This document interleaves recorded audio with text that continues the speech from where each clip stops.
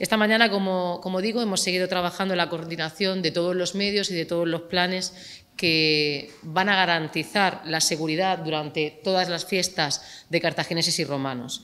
Eh, como saben, se suma la actividad de las fiestas a la actividad cotidiana que ya de por sí tiene el municipio. ¿no? Todavía nos encontramos en los días de verano, cada vez son más los eh, turistas que nos visitan y, y, también las personas que siguen aprovechando el buen tiempo, aunque ahora estemos con estas consecuencias de la dana, pero el buen tiempo para extender los días de verano, se une también la actividad diaria del campamento, las fiestas en determinados pueblos y todos los actos, actividades en diferentes emplazamientos, cerca de 12 emplazamientos que, reúne en su programa la, Federación de Tropas y Legiones de Cartagineses y Romanos. ¿no?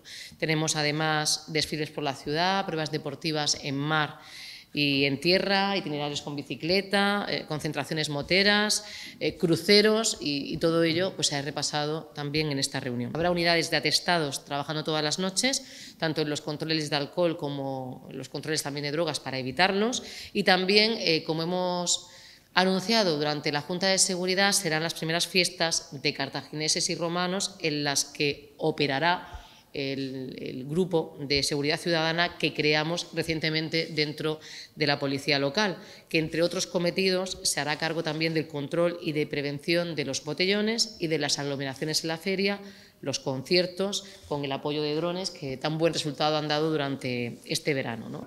En la Junta Local de Seguridad que hemos tenido, hemos eh, hablado del dispositivo, hay una excelente coordinación con la empresa de seguridad privada que estará en las fiestas y con Policía Nacional y Guardia Civil. Habrá por parte de Policía Nacional 1.257 agentes de servicio en todo este periodo de fiestas y eh, el objetivo es pues, intentar garantizar la seguridad, que los ciudadanos puedan disfrutar de las fiestas entre el 15 y el día 24 como han disfrutado de las vacaciones de verano. Hay muchas ganas de disfrutar de estas magníficas fiestas de cartagineses y romanos. Felicito a la Federación de Tropas y Legiones por el magnífico programa que han planteado a, a los ciudadanos de Cartagena, de toda la región de Murcia y de toda España y del extranjero que vendrán a las fiestas.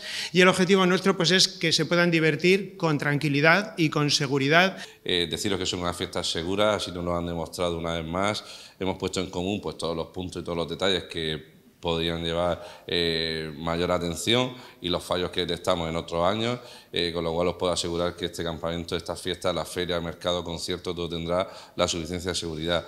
Eh, agradecer, como no, a los cuerpos de seguridad del Estado, así como los municipales, que nos echen esta mano y todas las concejalías que se ponen a nuestra disposición para que haya un buen desarrollo de la fiesta.